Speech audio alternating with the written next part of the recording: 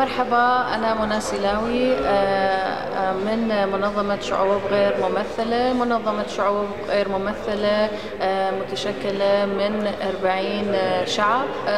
شعب حراطين ممثلين داخل هذه المنظمة من خلال منظمة إيرا.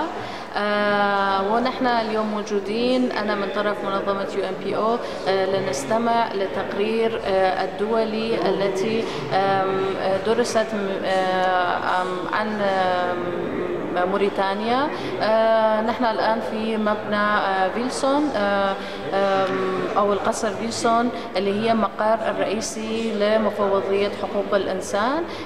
في من ابتداء من يوم 30 أبريل 1 مايو و2 مايو كان يتم مناقشة وضع الموريتاني وكيفية التعامل الحكومة الموريتانية مع قضايا العنصرية. في يوم 30 من أبريل آه، سمح لمنظمات المجتمع المدني آه، أن يقدموا آه، تقاريرهم عن عن وضع الموجود في موريتانيا.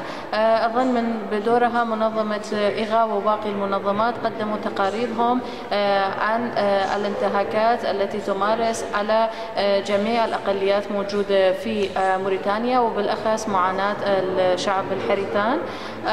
في يوم الأول والثاني من مايو الحكومة الحكومة الموريتانية قدمت آه، تقريرها. آه، طبعا كمنظمة يو إن بي نقول أنه لا يكفي على الحكومات أن يقوموا بتنظيم القوانين والتشريعات ولكن الأهم من ذلك هي التأكيد ومتابعة وتطبيق تلك القوانين لأن القوانين تبقى جميلة حبرا على الورق آه، ولكن إذا لم تطبق فإذا الوضع لم تتغير.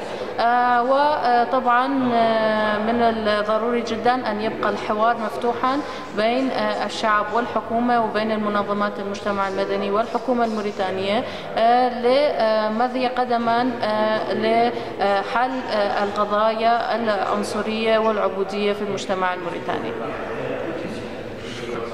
شكرا. عفوا.